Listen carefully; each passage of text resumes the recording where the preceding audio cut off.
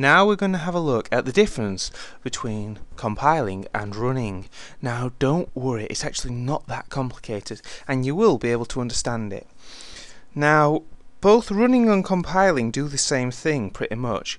There's one slight difference and that is when you actually compile the project, you compile it to a standalone exe file. When you run the project, you compile it into memory. Now that, that's the difference, okay? So, let's explain briefly what the whole compiling procedure is. Unfortunately for us, computers don't understand English or other any other language for that matter. They only understand machine code, which is just binary, ones and zeros. Now that's all they understand.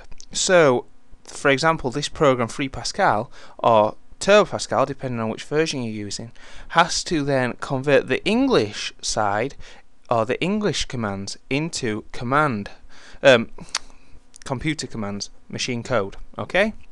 So that's what happens. So for example, say we click on run and then run. It takes this first line of code and compiles it. Compiles it into machine code and stores it in memory. It then will ignore the next three because they're annotation. It will then compile this line here, followed by compiling this line, and this line, and this line, all into memory, and then it runs the project. Um, however, if for example we run as in run it here, uh, sorry, we compile it, it will actually compile the program into an exe file which so what it's doing is it does the same process in compiling it but then takes that from memory and converts uh, and saves it on the hard drive. So then all we have to do is we don't have to recompile. We just go straight to this external exe file which we've created run it and our project loads up nice and simple now if we were creating software for a company that's what we'd do.